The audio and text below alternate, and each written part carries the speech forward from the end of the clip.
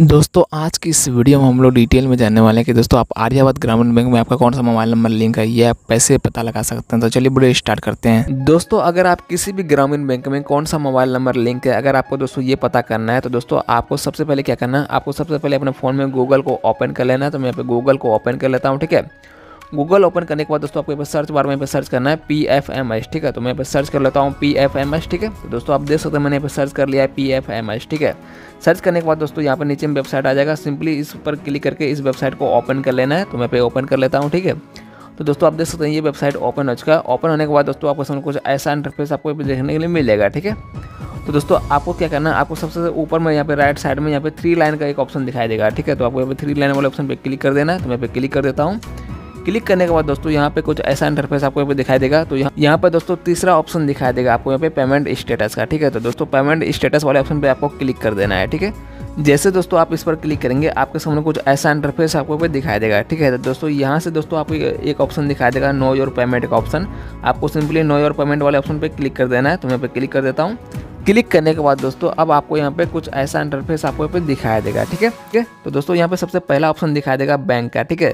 तो दोस्तों, आप जिस भी ग्रामीण बैंक का यहाँ पे मोबाइल नंबर लिंक है या फिर नहीं, कौन सा मोबाइल नंबर लिंक है, इसके बारे में पता करना चाहते हैं तो दोस्तों, आपको क्या करना है? आपको सबसे पहले उस बैंक का यहाँ पर नाम डालना है, ठीक है? तो मैं यहाँ पे डाल देता हूँ, जिसमें मेरा अकाउंट और जिसमें मेरा मोबाइल नंबर लिंक है।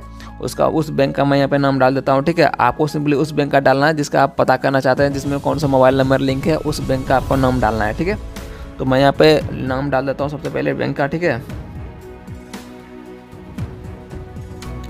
तो दोस्तों, आप जैसे आप बैंक का नाम डालिएगा, यहाँ पे नीचे में आ जाएगा, ठीक है? तो दोस्तों, आपको नीचे वाला ऑप्शन पे ही क्लिक कर देना है, ठीक है?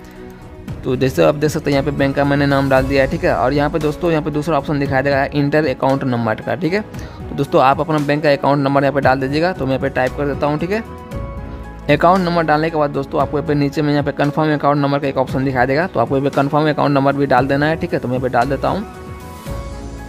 तो दोस्तों मैंने यहाँ पे कंफर्म अकाउंट नंबर भी डाल दिया उसके बाद दोस्तों नीचे में यहाँ पे वेरी वर्ड वेरिफिकेशन का एक ऑप्शन दिखाई देगा तो दोस्तों यहाँ पे जो वर्ड लिखा हुआ है इसको ही सिंपली आपको नीचे में यहाँ पे डालना है ठीक है तो मैं यहाँ पे डाल देता हूँ ठीक है तो दोस्तों मैं यहाँ पे सिंपली इस वर्ड को यहाँ पे डाल देता हूँ ठीक है तो मैं यहाँ पे सबसे पहले टाइप कर दूँगा तो दोस्तों यहाँ पे मैंने यहाँ पे ये वर्ड को यहाँ पे नीचे में टाइप कर दिया ठीक है उसके बाद दोस्तों नीचे में एक ऑप्शन दिखा देगा send OTP on register mobile number ठीक है तो दोस्तों आपको सिंपली इस पर क्लिक कर देना है जैसे दोस्तों आप इस पर क्लिक करेंगे यहाँ पे तो थोड़ा देर वेट करने के बाद दोस्तों आपके सामने कुछ नया इंटरफेस आएगा, ठीक है? इसके बाद दोस्तों आपको यहाँ पे नीचे में जो भी आपके बैंक अकाउंट से मोबाइल नंबर लिंक होगा, यहाँ पे शुरुआत के यहाँ पे दो डिजिट देखने के लिए मिल जाएगा और लास्ट के थ्री डिजिट आपके मोबाइल नंबर का यहाँ पे देखने के लिए मिल जाएगा, ठीक है? तो दोस्तों आप इसी प्रकार से आर्यावत ग्रामीण बैंक में आपका कौन सा मोबाइल नंबर लिंक है, ये आप बिल्कुल आसान तरीके से पता लगा सकते हैं।